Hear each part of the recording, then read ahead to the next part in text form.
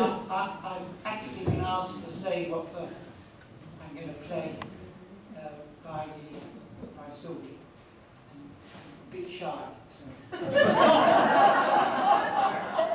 Oh, a bit, I, I normally like when pianists do solos, uh, they do love songs and things, lovely songs. Uh, but I'm not going to do that because I, I don't have much luck.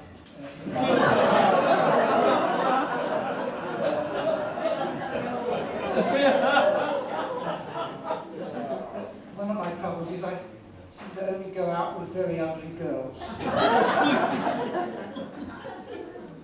last, Nothing wrong with that, Carl. well, there was something wrong with the last one. She was not only ugly, she was cross-eyed. She was, close, she was so cross-eyed when she cried, the tears ran down her back. not only was she ugly and cross-eyed, she was very, very, very fat. and when one time I got off enough courage to sort of make love to her, I had to climb up a bloody ladder. got there, they gave me an oxygen mask. so I'm not going to do uh, a love song for those reasons. I'm going to do a song that was written in 1932 by three people.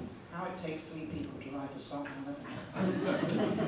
and uh, in fact, it was written by the same man who wrote I'm going to sit right down and write myself a letter. And this song um, was written by a man called Young, a man called Jack Little, uh, who committed suicide after writing this song. uh,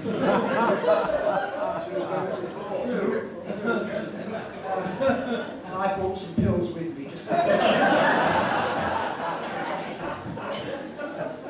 anyway, we've got to finish soon, so I better uh, play it, um, and you hopefully will recognise it.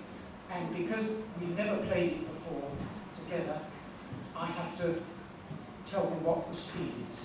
So you'll understand when I count one, two, three, four. That's not the words of the song. That's a good count.